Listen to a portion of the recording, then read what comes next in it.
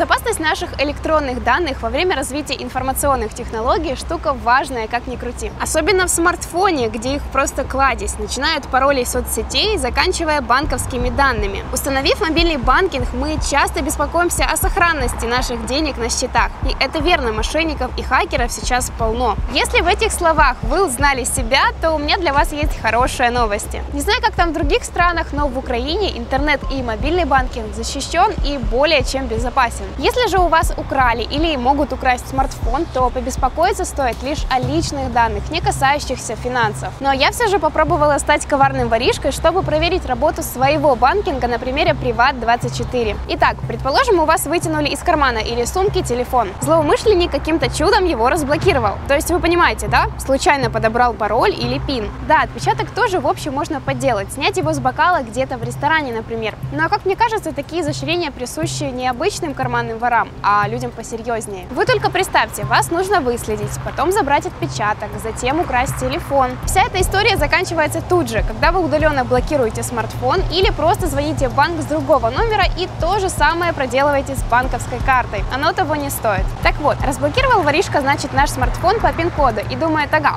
сейчас-ка я сниму несколько тысяч с банковской карты этого неудачника. Но это в том случае, если вы не бедный студент. Ну, все равно, пара-тройка сотен лишними никогда не бывает. Наш воришка заходит в приложение Privat24, и тут ему предлагается ввести специфический пароль от входа или разблокировать его по отпечатку пальца. Пароль он подберет вряд ли, потому что при его создании требуется подобрать определенное количество цифр и определенное количество символов. При неоднократных попытках ввода некорректного пароля приложение заблокируется. Короче, это Unreal. Идем дальше. Отпечаток.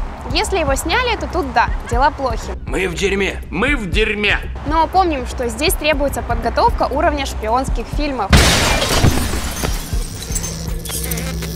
И с таким реально столкнуться сложно. Как и простой смертный, мошенник может добавить уже свой отпечаток в настройках смартфона. Ну и этот момент я проверила. При добавлении срабатывает система безопасности интернет-банкинга. Приложение видит изменения, уведомляет вас о том, что все не так просто и запрашивает для входа именно тот самый пароль. При попытке изменить пароль в приложении потребуется сначала подтвердить действие через звонок на финансовый номер, собственно на вашу симку, которая привязана к картам. И тут, если вы успели заблокировать карту через оператора мобильной связи, то дела для нашего воришки плохи. А если же нет, он в конце концов все равно столкнется с контрольным выстрелом в голову, пин-кодом банковской карты, который знаете только вы. Все, вы не неуязвимы. С приложением Mono все еще проще, ну или сложнее, смотря с чьей стороны глазеть. При входе запрашивается отпечаток пальца, добавление которого приводит к одному единому варианту – вводу пин-кода банковской карты. А это уже снова-таки неизвестно никому, кроме вас. В общем, вы поняли, приложение банков не так просто обойти. Над ними работают серьезные программисты и там куча степеней защиты. Шах и мат аферисты.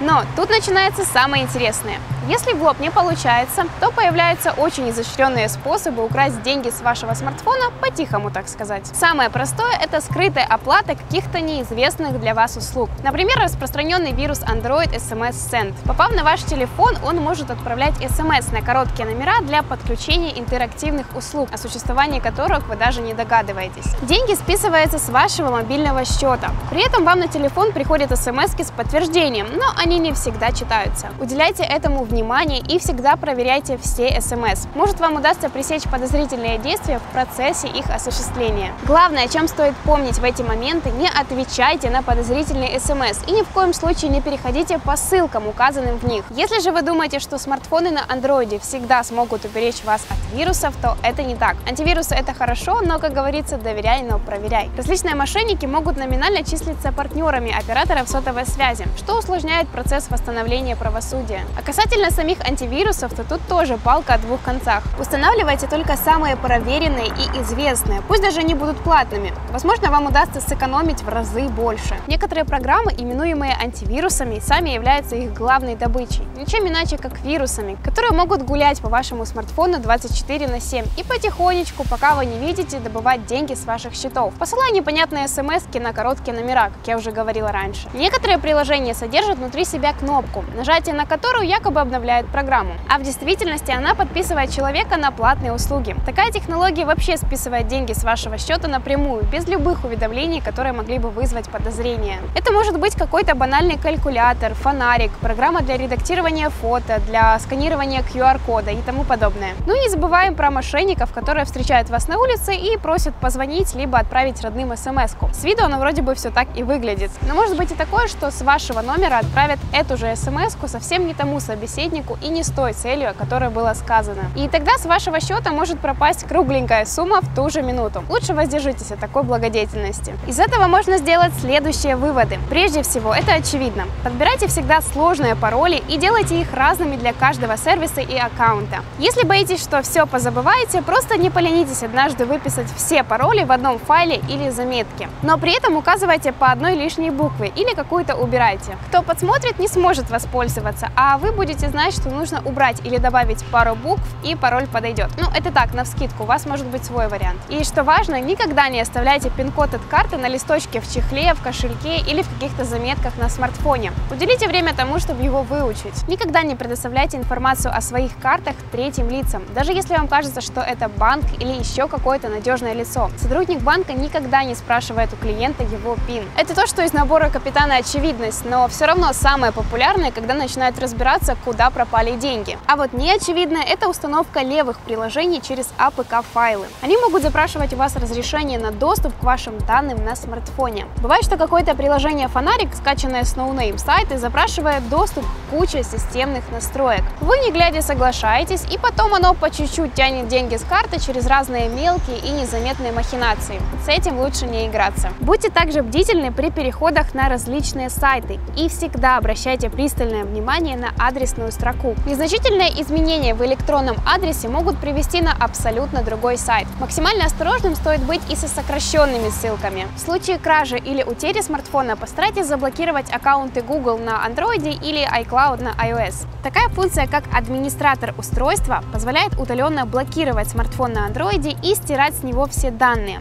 А блокировка активации поможет в случае с iPhone. Но если вы подберете надежный пароль для первоначальной разблокировки смартфона, то воришке больше ничего не останется сделать, как сбросить гаджет до заводских настроек. Хотя перепрошивка украденного iPhone, защищенного блокировкой активации, не имеет никакого смысла. iTunes попросту не даст восстановить устройство обычным методом. Активировать его не удастся все равно. Экран с требованием ввести адрес электронной почты и пароль нельзя будет обойти. Так что при краже вашего смартфона с установленной защитой вам грозит только потеря самого девайса, который впоследствии может пойти куда-то на запчасти. С должным подходом ваши личные данные, а тем более банковские, будут под надежной защитой. Если видео было полезным, ставьте лайк, подписывайтесь на наш канал и жмите колокольчик. Смотрите другие наши видео, где я рассказываю о 10 лайфхаках YouTube, о которых вы могли не знать, и актуальный на сегодня ролик с информацией о торговой войне США и Китая. Пока!